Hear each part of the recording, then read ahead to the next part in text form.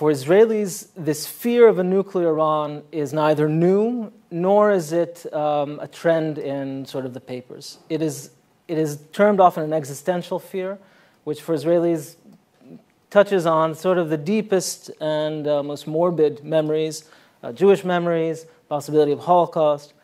Netanyahu, before he was prime minister, said the year is 1938 and Iran is Germany. And this kind of rhetoric for, is, of course, inflammatory anywhere, but for Israelis, really is uh, it's the ultimate rhetorical weapon. You cannot get any more serious than that.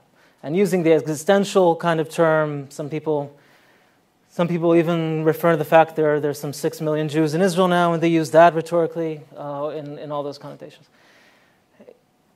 Just to illustrate, five years ago, the most popular television show in Israel, something called Eretz Nehederet, uh, a wonderful country. It's a satirical show that looks a lot like Saturday Night Live or Fake News news show.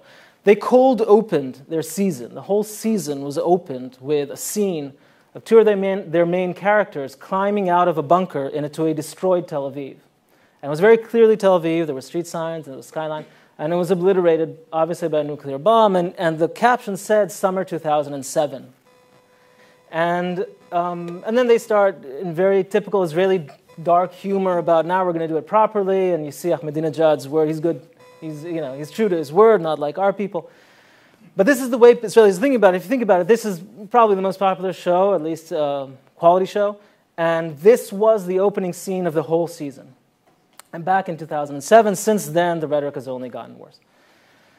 So this, this question is huge. It trumps everything else. It trumps the Palestinian question by far in Israeli psyche today. It trumps the Arab awakening, even, which has caused quite a bit of concern. It's the main issue. And yet, when we look at the political scene, this divide, again, looks more like confusion. Because if we try to trace what the camps are, who, who against whom, we don't find the classic right and left. The hawk, at least in the papers today, is Ehud Barak, former prime minister of the Labour Party.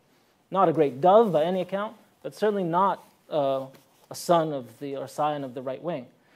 And on the dovish side, we see many people of other kinds. The most vocal, former head of the Mossad, the Israeli equivalent of the CIA, Meir Dagan, certainly no dove. In fact, an accolade of, uh, or associate of Ariel Sharon, someone much more associated with the center right, very much a security oriented, tough minded kind of individual.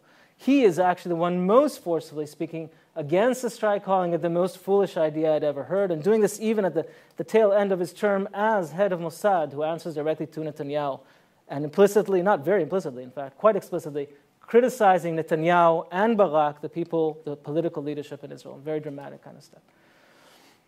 And so in the leadership, we see this, this strange divide as well, and we see this kind of confusion, and we see uh, a public that is looking to these leaders for cues to what should we think about this very deep threat, and what are the chances of success. And just like the leaders don't know, like Dagan and Barak disagree, both with sort of illustrious military backgrounds, but just as they disagree dramatically about the chances of success, so the Israeli leadership just has no clue.